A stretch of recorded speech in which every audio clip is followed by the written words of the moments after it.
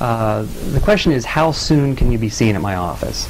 Uh, every day that we're open, we hold available two slots for emergency appointments, one in the morning and one in the afternoon.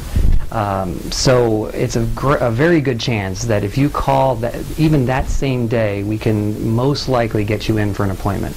The worst case scenario is uh, we might have to wait till just the following day, but uh, that that would be uh, the, usually the farthest out it would go.